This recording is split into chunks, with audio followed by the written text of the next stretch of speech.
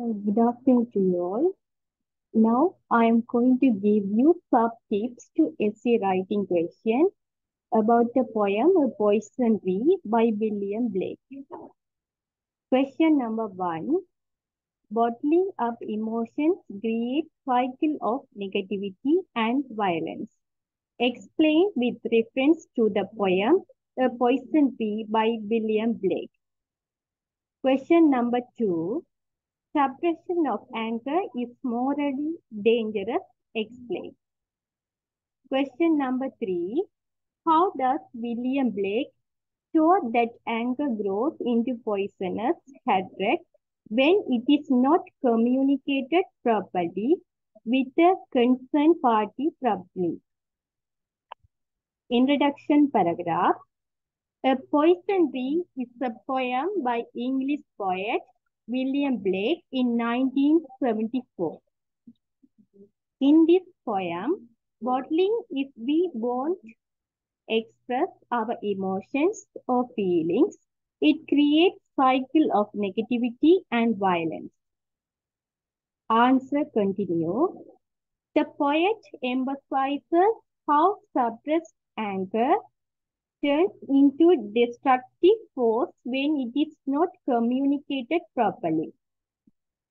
The poem highlights how anger brings violence and destruction when it is not communicated with the concerned party openly.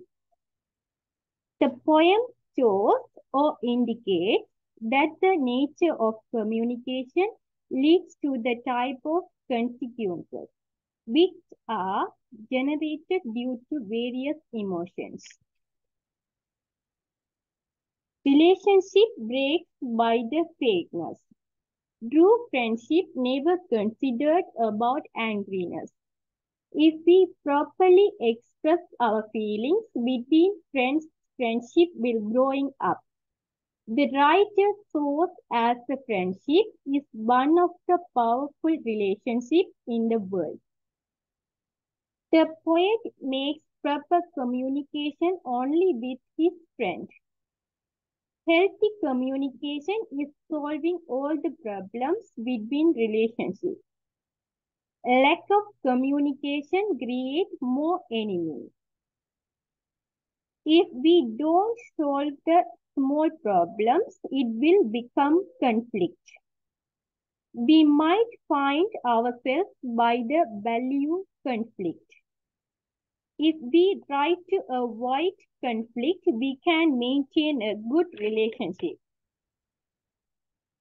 The writer behaves as an honest man only for his friend.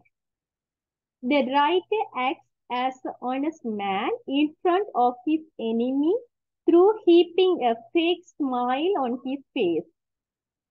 You have to be brutally honest with yourself. The poet is growing the poisonous through watering his tears. Tears is the relaxation of uncontrolled angriness. The poet indicates revenge as a theme through his characterization of this poem. Revenge is outcome of the cruel human be being mind. Revenge leads to a man to killing anyone. Negative emotions breaks the relationship. Keeping negative emotions are leading to violence. In this poem, violence is still growing until he enjoys death. Murder becomes as outcome of the deeper hatred. Hatred develops from displaced angry.